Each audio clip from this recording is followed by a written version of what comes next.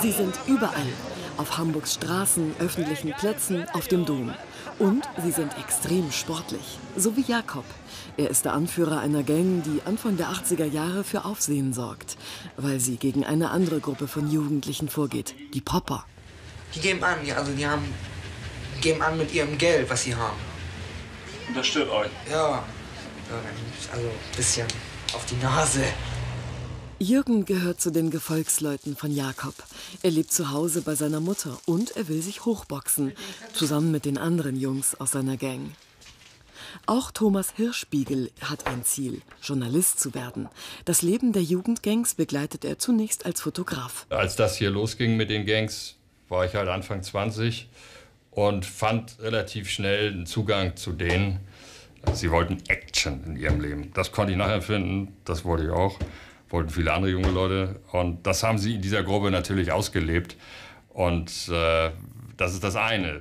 Aber äh, es gibt auch immer Opfer. Ne? Anfang bis Mitte der 80er Jahre gibt es etwa 20 rivalisierende Gangs in Hamburg. Die Konflikte untereinander spitzen sich zu, denn mit den Kämpfen wollen die einzelnen Bandenmitglieder ihre jeweiligen Anführer beeindrucken.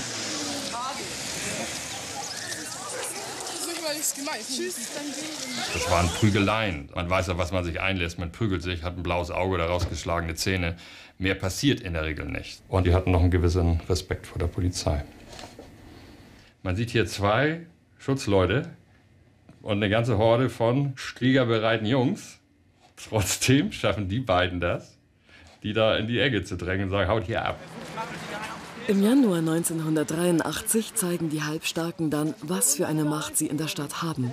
Da sind 200, 300 Mitglieder von Jugendgangs ganz spontan haben sich auf dem Rathausmarkt getroffen und sind dann mal eben als unangemeldete, in Anführungsstrichen, Demo über die Mangelbergstraße gegangen.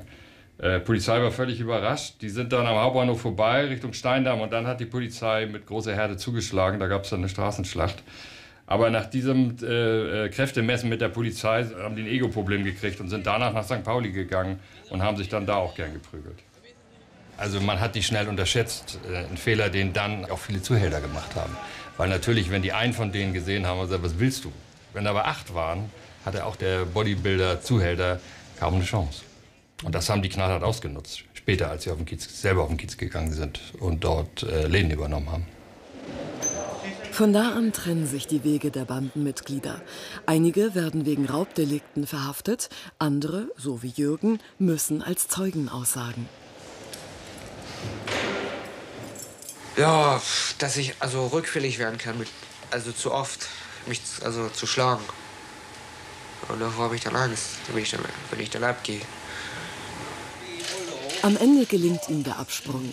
Er träumt von einer Freundin, einem Auto, einem Haus. Du hast jetzt Arbeit gekriegt. Wie ist das gekommen? Also das ist von der Berufsberatung gekommen.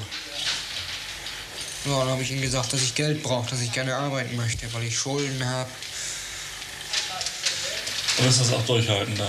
Ja, äh, werde ich wohl durchhalten müssen. Das kann ich das ja nicht bezahlen, was jetzt auf mich zugekommen ist. Interessant wäre, was aus ihm geworden ist. Viele sind auf St. Pauli gelandet, was kein gutes Ende nahm. Ich kenne aber auch einige, die heute Manager sind oder so, die, die das einfach als eine Phase ihres Lebens gesehen haben und äh, ohne Knast überstanden haben. Thomas Hirschspiegel hat sein Ziel erreicht. Er ist Chefreporter bei der Hamburger Morgenpost geworden. Auch dank der Erlebnisse mit den Jugendgangs.